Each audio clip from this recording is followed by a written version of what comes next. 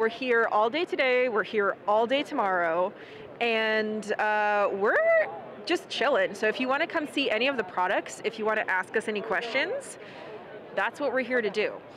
Now, we just dropped some hot, hot fire on the social media, the social media channels. We're starting over. We're restarting. See, I knew it. That's why I was stalling. I knew it. I knew something was going to happen. Are we restarting right now? Should I just stand here and jig? Yeah, we're good. Hello, everybody. My name is Valentina Vee, and we are at Cinegear. As you can see, this is gear, and it's made for cinema. Cinegear at the Los Angeles Convention Center here in downtown LA. We didn't know if we would make it. Let's be honest. We didn't know if we would be here in person, but we are safe, masked up, ready to kill it. If you can see me and hear me, then go ahead in the comments, just write the word red.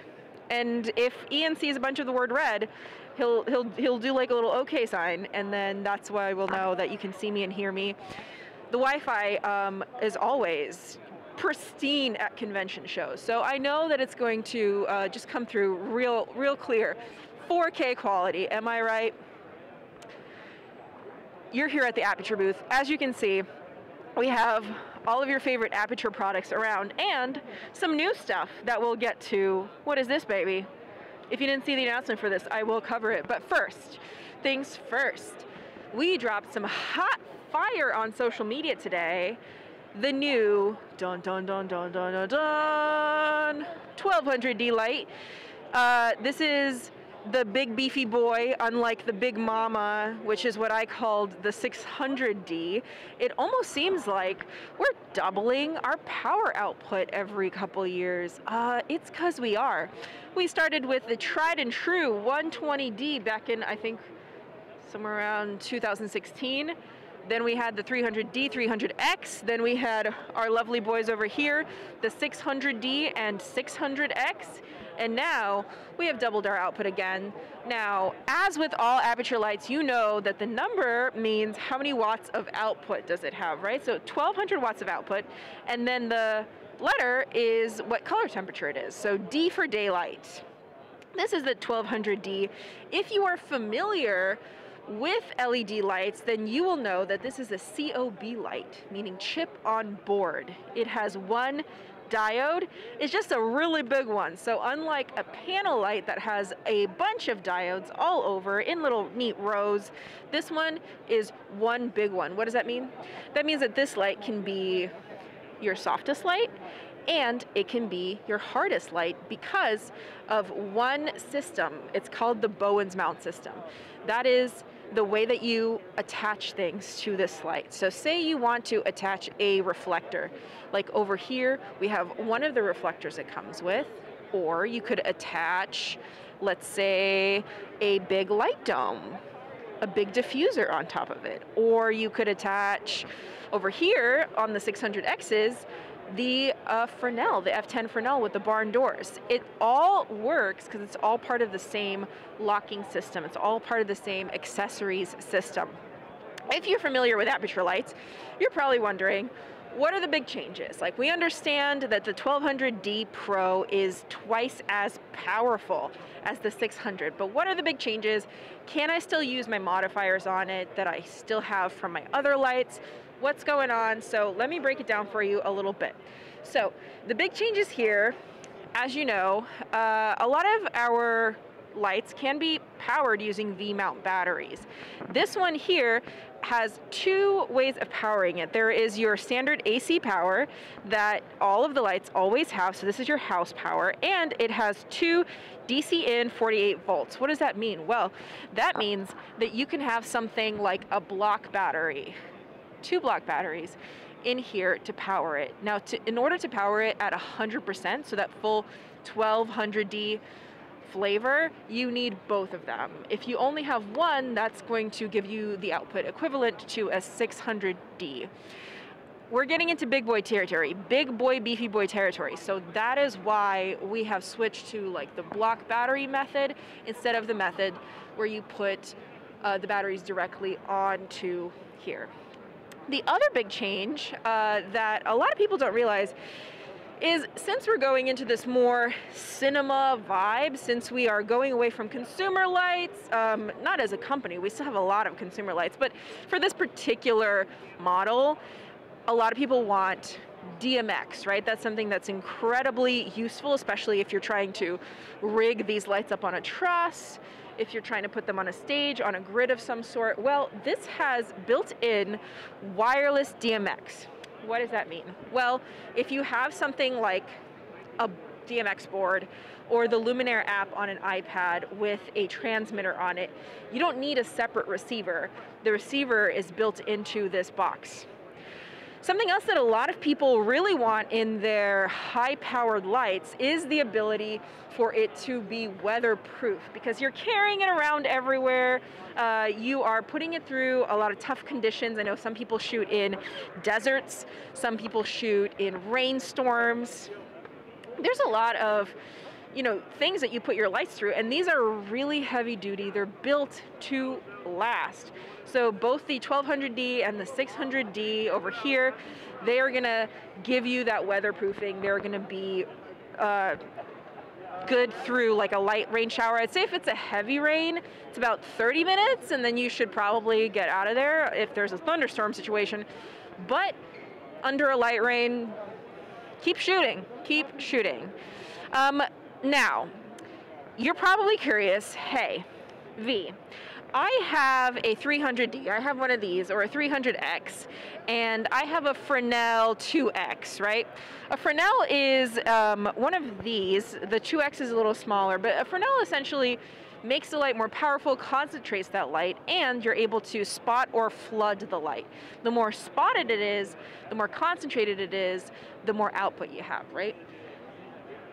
The thing is, with the bigger output sizes, the diodes are getting bigger, which means that the optics for Fresnels are getting bigger as well. So with the 300D, you have the Fresnel 2X. With the 600D, we have the F10 Fresnel, and then the optional barn doors if you want them. If you just want the barn doors, you can just buy the barn doors and put them on the reflector that comes with it, no problem.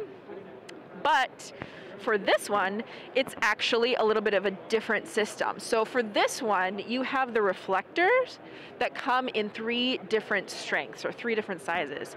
So you have the 15 degree, you have the 30 degree, and then you have the 55 degree. So the larger that reflector, then the smaller the degree. So this is right here, I believe, the uh, 30 degree. And then if you see over here, Casey, this big boy over there that looks like um, you see that movie Coneheads back in the 80s, 90s. That that one that looks like a cone head, that is the 15 degree reflector. And what's cool about all three of these reflectors is that they come in their own little case, kind of matryoshka dolled, like together, one inside the other, so they're very compact, but that's how you would achieve that spotting and flooding. Now, as far as okay, now I have this really big, powerful source. Uh, how do I, now I know how to make it hard, right? How to achieve that hard light with it.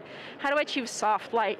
Well, of course, you can put on one of these light domes. So there are essentially three different sizes of light domes. There were two, and we've just introduced a third. So the first, the standard light dome size is going to be this light dome 2. This is a 90 centimeter diameter size. And what's great about the light dome 2 is that number one, it pops up instantly, right? So it takes about 30 seconds to set up. I've got it down to a science. I'm at around 15 seconds with that thing. Uh, and it comes with two diffusion cloths. So it comes with a diffusion cloth that cuts down the light about 1.5 stops and another one that cuts it down 2.5 stops. It also very clutch comes with a magnetic gel holder on the inside. So say you buy uh, that 300D instead of the 300X, but you still want it to be a nice soft tungsten light, well, you pop a CTO gel, color temperature orange gel, into that gel holder. Doesn't even have to be big, like just about, you know, like a foot size square, and um, you get a tungsten light. Now with the Light Dome 2, the Light Dome Mini 2, I should say, that's more of a beauty dish style diffusion, right? So it's smaller, but it's mostly for lighting faces, for lighting smaller areas, and it also comes with a gel holder. It has a diffusion fabric that cuts down about half a stop of light. Now we move on to this big boy. So this is the newest release. This is the Light Dome 150. 150 because it's well, let's see. If that was 90 centimeters, this is 150 centimeters, which if you're in the US, that's about five feet, which is uh, kind of my height, a little bit, a little bit more than my height. But what's great about this is number one, it is a full circle. So if you're used to photography, if you're used to things that you know, like strip boxes for strobes, those are great, but a lot of times what you really do is you see them in the reflection of your eyes. And that reflection is a square or a rectangle. It doesn't look very organic or natural. This one, by the way that it's sewn together, you see these little divots here? This creates a perfectly round circle. So whatever that reflection is going to be, it's going to be just nice and organic. It's going to look like a little teardrop in the eye. The other thing that it comes with is this 45 degree grid. So if you want your light to be soft, but you also want it to be directional, you put this grid on it and what's great is that it comes with it. A lot of companies will sell this separately, but this actually comes all together in the kit. It also comes with the same two diffusion fabrics that the Light Dome 2 comes with, right? So the one that's like 1.5 stops of diffusion and 2.5 stops of diffusion, or stops of light less. Anytime you diffuse a light, you lose light, right? So it's all about how do I keep the intensity of the light while also making it soft, which is why there are options for you. This right here is now on the 600X Pro. So just COB lights, what do we got? We got the 120D, we got the 300D, 300X, the 600D and 600X Pro, and now we have the 1200D Pro. This is the new one. What else can I say about it? Um, I talked about the wireless DMX built in. I talked about uh, that this one doesn't have V-mount batteries. Something cool that maybe if you are in the Aputure ecosystem that you may not realize is this curved ballast, right? So the curve is specifically for, okay, like, yeah, you can you can have the light pointing up, you can have the light pointing side, but what if you want the light pointing down? Let me actually turn this down because it's at 100% right now, which means it will definitely blind someone. Well, if you want the light pointing down, that's what the curve is for, right? So there you go. And then of course, if the reflector is off, I can turn it like a full 360 degrees which is awesome. Now the other thing about powerful lights is that you know, back in the day, like when we just had the 120D, it would, the original 120D, it would go down to only 10% power. And you would think, oh, that's, uh, that's plenty, right? I don't need it to go down any lower than 10%. But when you have a light that's this powerful, even 10% is a whole lot of power. So this light can actually go down to 0.1%. So a fraction of a fraction uh, check this out. So you can have a light that's at 0.1%. There's also this new screen here. This is um, an LCD screen as opposed to an OLED screen, which means you have a lot more options and it's just a lot clearer to see. Of course, it comes with all the standard things that you expect an Aputure light to come with, like all of the built-in effects. So you can do like paparazzi mode, you can do faulty bulb mode, you can do fireworks mode.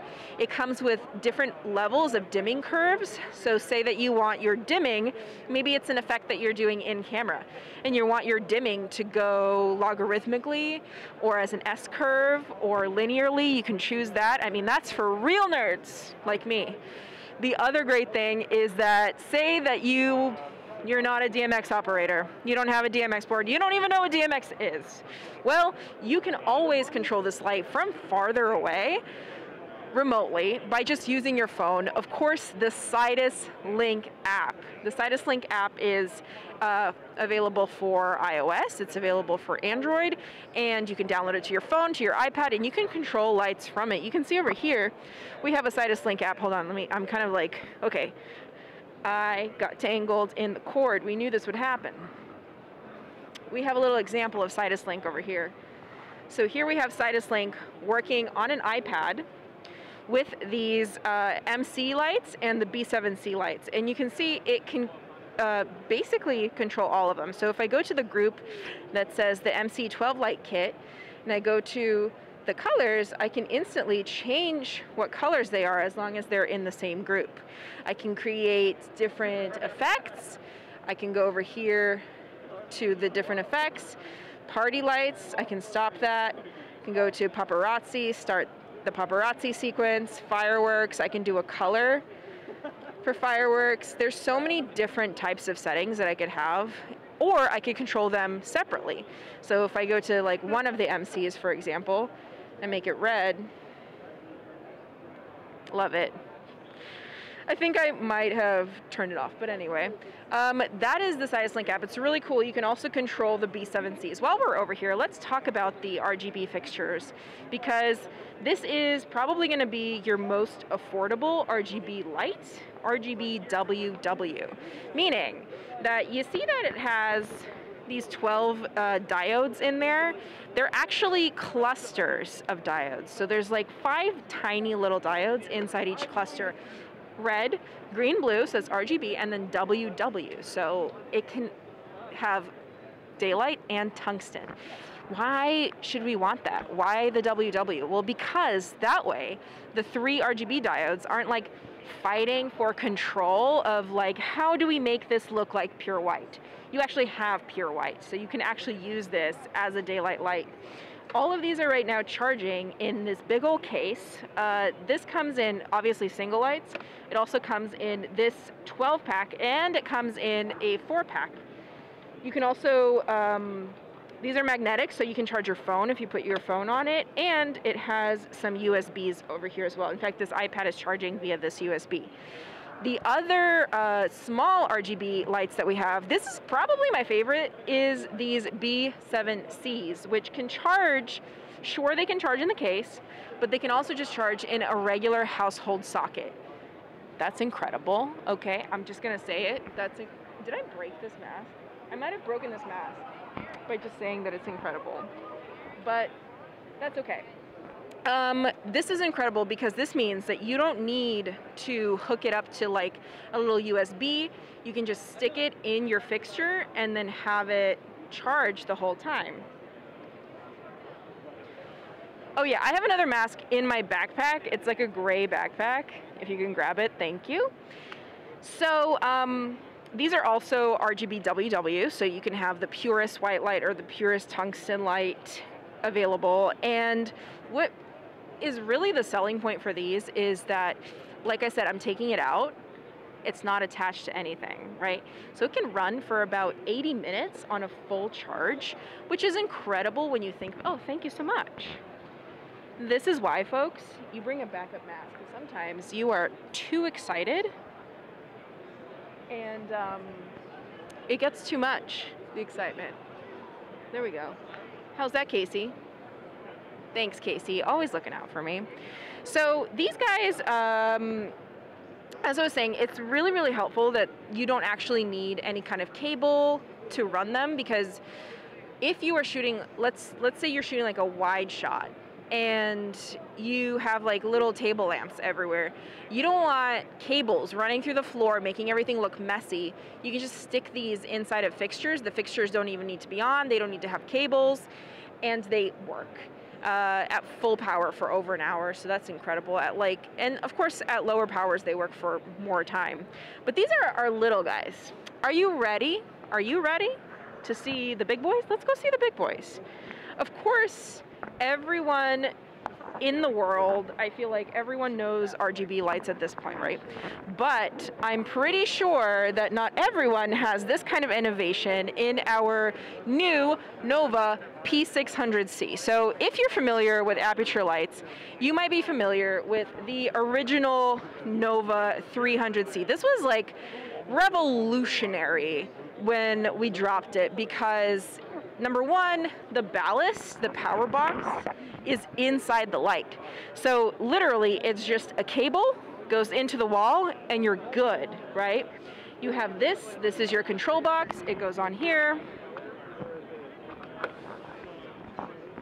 This is hard to do with a mic, but you know what? We're gonna get it.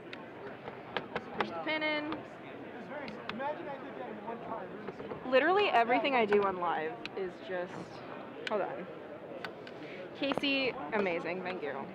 I struggle.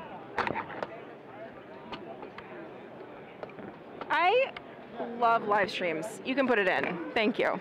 So uh, you can just put it on here and control it, or it actually comes with a longer cable. You see how short this cable is? It comes with a longer cable. So say you have it mounted somewhere up there, like we have here, right? We have lights mounted up there, but then we have the control boxes down here at, you know, at a touchable height so that we can control them.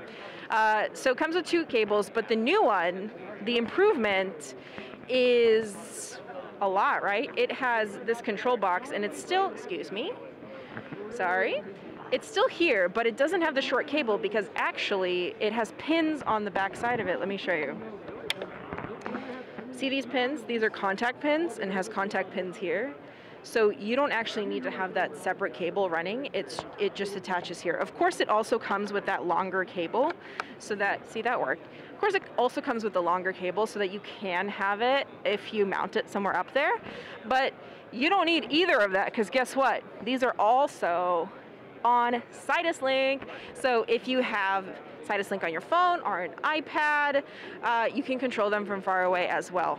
Now, the other really cool innovation with this one is it also has wireless DMX. So if you are someone who owns a big studio, who wants to outfit um, a stage with these lights, then, and you have a DMX board or you have wireless uh, DMX transmitter, then this has those channels for you to be able to control it. Not only can you control the color temperature and color of this whole light, well, it's a little bright right now, not only can you do that, but you can also control it.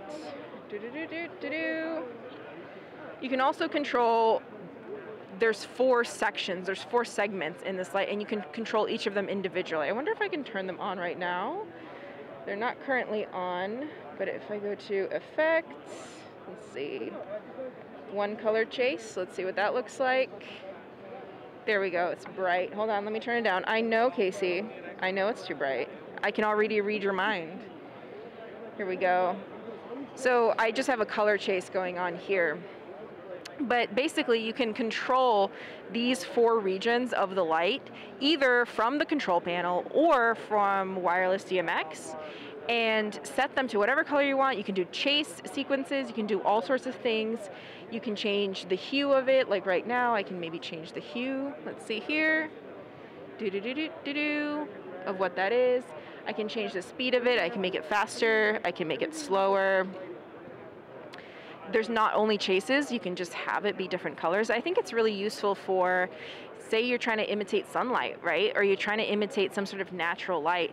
And a lot of times that natural light, uh, say you're indoors, it's bouncing off of everywhere. So it's not just coming straight from the sun. There's like something coming off of a tree maybe, or the floor. Um, so you can make it a different type of dappled, you know, range of daylight and tungsten and just make it a lot more natural.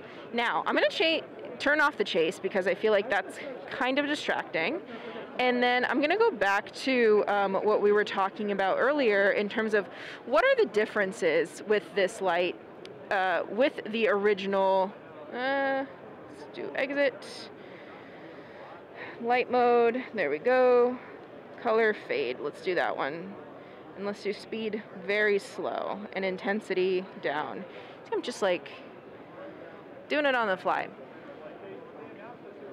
So, um, big difference, big differences here, obviously it's bigger, right? So it's two by one feet, so that's one big difference. Second big difference is we actually are making uh, hard grids for it.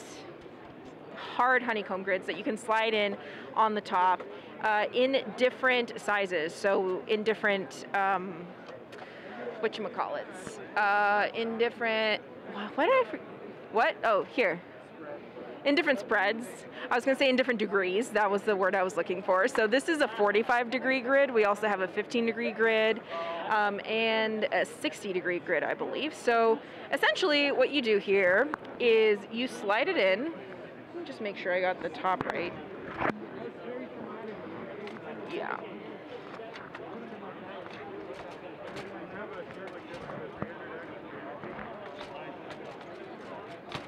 This is a feature that a lot of people have been asking for. This grid is a little defected because it is like the, the factory one that's like the test model, so don't worry, yours won't look like this. But essentially what happens is if you kind of come up to the light and go from head on to the side, you'll see it start sort of fading away, which means that this soft light source can also be directional, right? You're not getting it from the side at all, but you're getting it from the front. So this is good for isolating a single person, making sure that light doesn't fall on the background, or making sure that light only goes in one spot of the background and not somewhere else. The other big change here is that these lights have always had the front panel diffusion on it, right? Well, the 600D, let me take this off.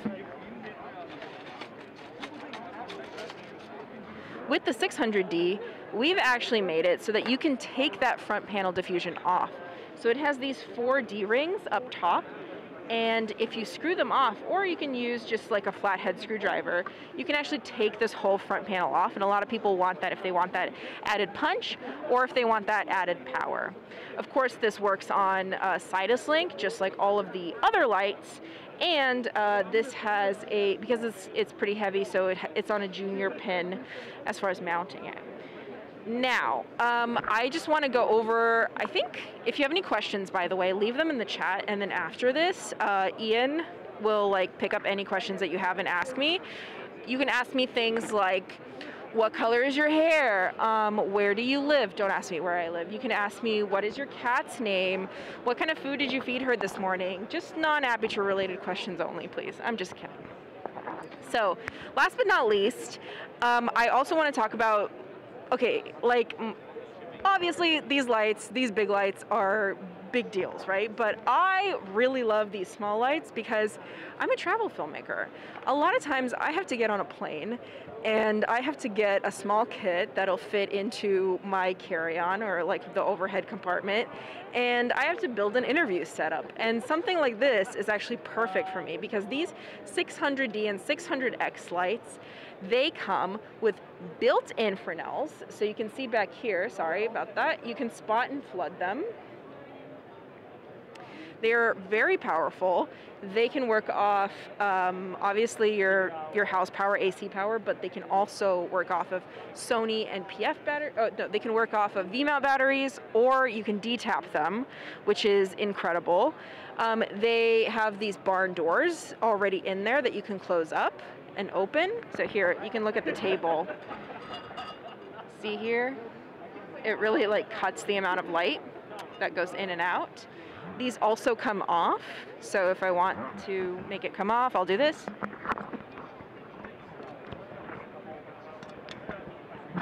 Slide it out like that, and it has its own accessories.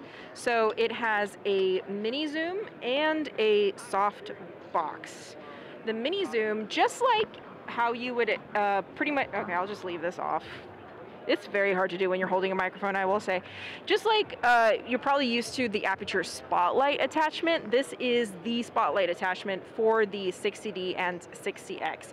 So you can see over here on the wall, it casts the light very far, creating that spotlight effect, and it you're able to use these cutters on the side to cut the light. Now you're probably wondering, why is that even useful? Well, a lot of times we only really think about lighting the subject, but we really don't think about lighting the background. Now, do we say we want to have maybe a window shade pattern in the background?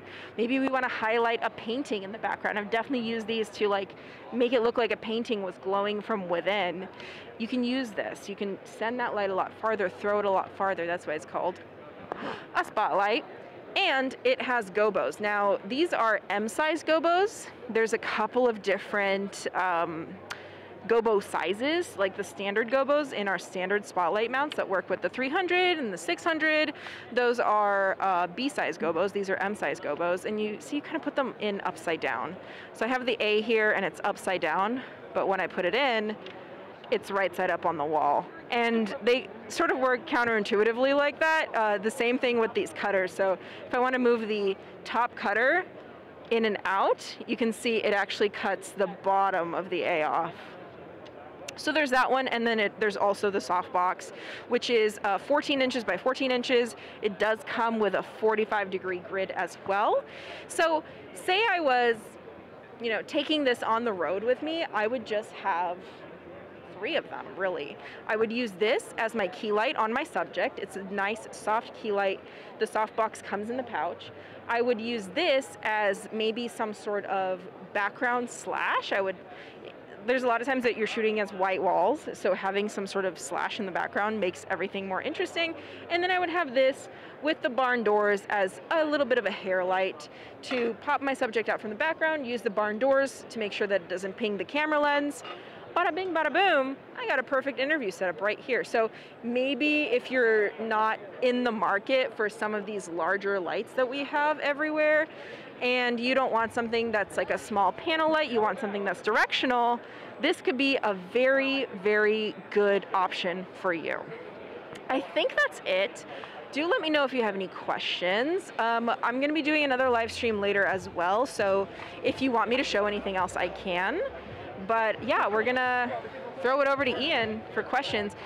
And they started playing music back there. Perfect timing. I mean, impeccable timing. I don't even know. So what's up? Uh, what do we got? Planning on using fewer HMIs now that the 1200D is on its way? Am I planning? Like, am I as a person planning? Okay, so the question is, am I planning on using fewer HMIs now that the 1200D is on its way? Whoever asked that question, you should know I've been using Aputure lights almost exclusively for four years now. So those have been out of my personal um, stock for a while. So yeah, HMIs are gone. You heard it here first. They're dead. Creatively, what, what would you do with the Nova P600C? Creatively, what would I do with the Nova P600C? Just about a million things. Uh, so I definitely have used the Nova in order to create uh, effects for music videos. So that's something that I would do as well. So um, when you have certain effects in lights, like say example, for example, you have your car car lights, like your your police lights. A lot of times when you use the police lights preset inside of the Nova, it's either white, uh, it red or blue, right? It flashes. In this case, you can have both of them. Um, another good use of this, if you're using the chase sequence like I showed earlier, is to have to fake a moving car.